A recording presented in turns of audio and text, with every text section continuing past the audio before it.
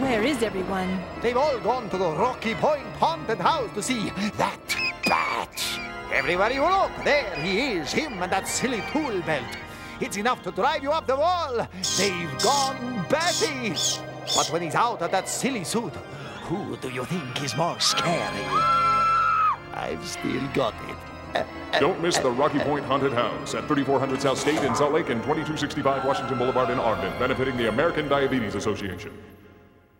I'm Sydney Neal.